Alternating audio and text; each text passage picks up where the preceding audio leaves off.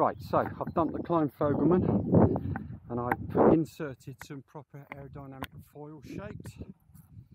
A little bit of weight on the C of G. Let's see how we go. Oh, fuck me.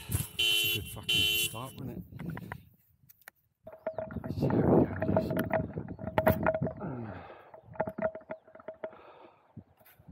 Right.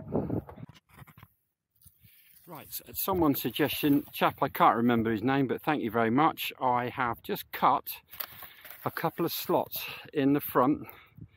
Let's just see what that does. So, slots in the front. Let's just see what happens with this. Not got a lot of wind now.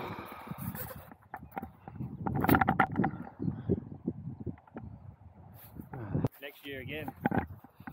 Right. And that's going to be spaced out, obviously. No excuse for fun, spaced out. It's just not having it, mate, is it? No. Right, Nick, I'm going to have to look at these.